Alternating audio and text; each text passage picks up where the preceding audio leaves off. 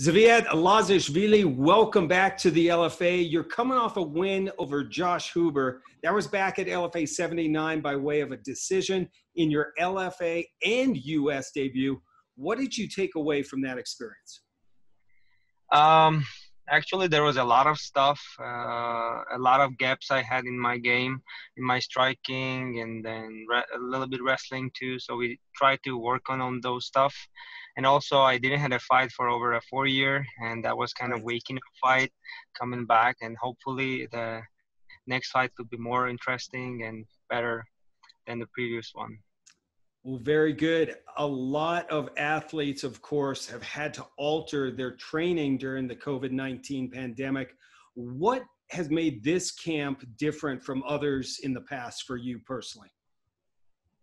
Um, it was a little bit weird, of course, because gyms were closed and we, we were in the beginning we were training at home. Uh, personally, I, I, I didn't stop training. I was training, but not not of course uh, as we supposed to do. But then slowly, slowly, my my coach is very very smart and he managed to adapt to the situation very fast. So we we've gone back to the trainings normally, and um, for me it was no problem at all to train. So we I had a pretty good camp. We tried to uh, see every every aspect of this uh, next fight and try to turn over every stone and uh, work on the, the details and work on the game plan. So we are pretty well prepared. Very good. Well, no question, your grappling game is world class. You're a six time national grappling champion. So it's not shocking. Eight of your 12 wins have come by way of submission, including four wins by way of arm lock. Why have you been so successful with that specific move? Um, I don't know. Uh, um, usually, I don't. I don't have this uh, kind of uh, uh favorite move or something. Whatever comes during the fight, whatever uh, I see, I just pull it out, and uh, that's it. it. Comes. I don't have like maybe it's like yeah, it's like whatever I see, whatever the fight gives me that what opportunity I get, I just use it. And uh, for some reason, there was maybe four arm bars. And yeah, so. some guys are giving up their arms. Uh, maybe your opponent Ricky Steele uh, will try to avoid that. But let's talk about him. He's also coming into this fight undefeated. He's a fourth degree black belt in karate.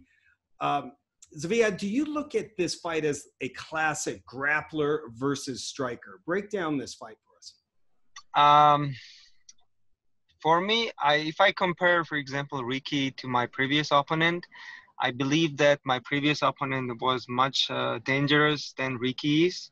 But technical wise, uh, I think Ricky is more hard hard opponent for me uh, because he's like tall, five foot eleven, and he likes to just uh, tag and run away, tag and run away, and he doesn't like to disengage, and he moves really good. I think his wrestling is pretty decent too, uh, and also physically he's he, he looks stronger than he's looks more stronger than he is. So mm-hmm. he's he's I think he's physically he's stronger too. So it will be hard fight. It will be tough fight, I believe.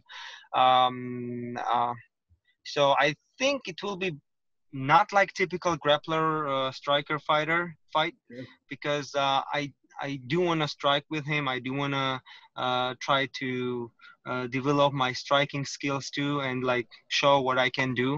Uh, I so uh, let's see. The fight will show. I don't I don't like to plan too much because when you plan and when you have like this one one thing in your head and you go to the fight and if that's not gonna happen then it's hard to adjust during the fight right. so i prefer to just know the weaknesses and know the what should i mm, uh, which way my fight has to go. But then whatever fight will bring it to me, I'm gonna do that. So I think it's pretty even fight, and he's like a very. I mean, he's experienced, and I do believe it will be very hard and interesting fight. So, very, I, I'm prepared for it, and I, I, I think he will be too. Fight fans are excited for this too. There's no doubt about it. Now, Steele has never finished an opponent before, winning all six of his bouts by way of decisions. What does that say to you about his fighting style, if anything? Um, the thing is, uh, I think this is because of his fight style. He likes to just tag tag people. It's like karate karate background probably, and uh, I I, I, supp- I suppose he's working on that to change it because he does have a good speed. He does have a good distance control, sure. good reach advantage, uh, height advantage. Uh, but I mean, I do believe it's like more stylistical issue because he can't finish the fighters because he just likes to tag people. He doesn't like to like clash and disengage. I mean, engage during the fight. So that that that could be one of the reasons why he doesn't have the finishes. Great breakdown, Zviad. The LFA bantamweight title really has a storied history. Leandro Higo was the first one to win it at LFA one. He moved on to Bellator and fought for a title there. The three other champions, Ricky Simon, uh, Miles Johns, and Casey Kenney, all have moved on to the UFC. So, what would it mean to you to become the next LFA bantamweight champion? Um, it's of course a big honor to big honor to be a champion of LFA because, in my opinion, LFA is one of the biggest organization after these uh, top uh, top organizations, and uh, this is a uh, this is a big opportunity for me, and I think it's a big opportunity for Ricky too.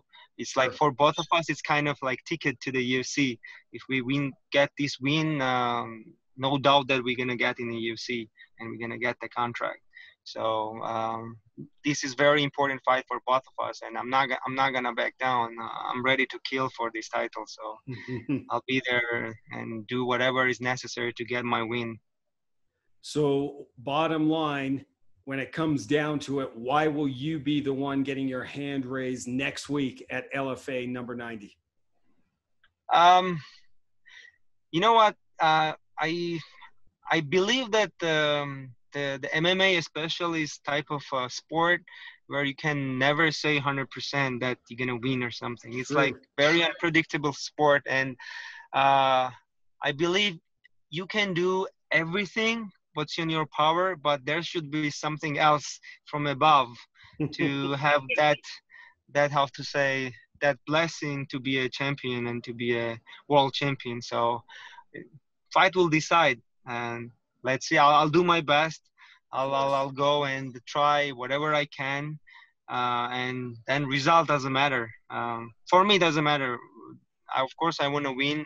I will do everything to get this win, but but you never know you may lose too right so this sure. is life this is game so who am i olympic champions and like really like elite athletes have lost and I, I, I, I see I don't see that I'm like some special guy who has to win or something. No, it's a fight. It's a war. So whoever implements their game plan, whoever implements their skills better than another, he will win. That's it. Simple as that a lot on the line. That is very true. A great breakdown of both undefeated and someone's oh will have to go next week. Exactly. Zviad Lazishvili, thank you so much time for the for uh, doing this interview. We'll see you next week in South Dakota. Thank you. Thank you so much. It's a great honor. Take care. You bet. Bye.